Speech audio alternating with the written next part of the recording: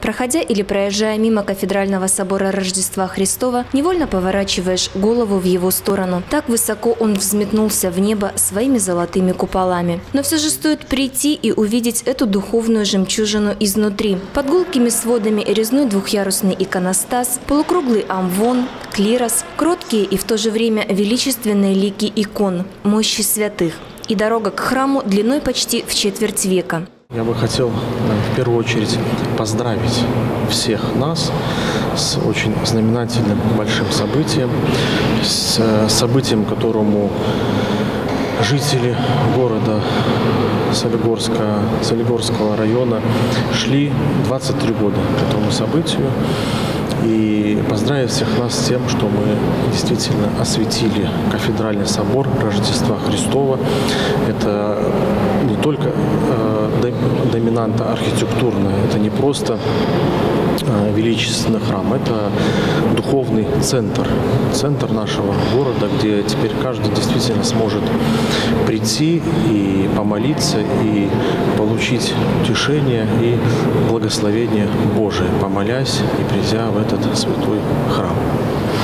Поэтому я сердечно, сердечно еще раз всех приветствую, жителей города, всех тех, кто своим трудом, делом, молитвой, своей лептой внес свою, свое дело в строительство и в завершение строительства комплекса кафедрального собора. Низкий всем вам поклон, дорогие братья и сестры.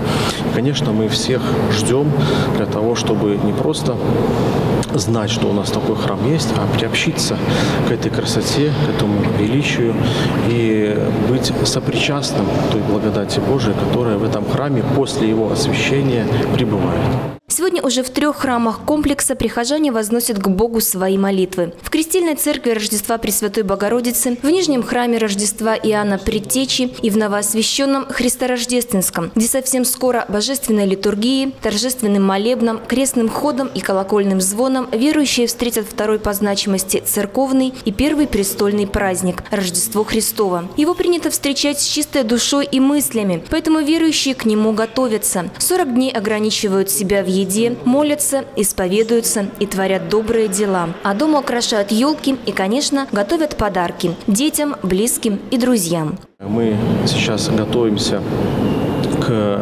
первому престольному празднику, поскольку кафедральный собор освящен в честь Рождества Господа и Бога Спаса нашего Иисуса Христа. Поэтому 7 января 2018 года мы всех также сердечно приглашаем и ждем на первый престольный праздник нашего кафедрального собора. Приходите, будем прославлять рожденного Богом младенца Христа.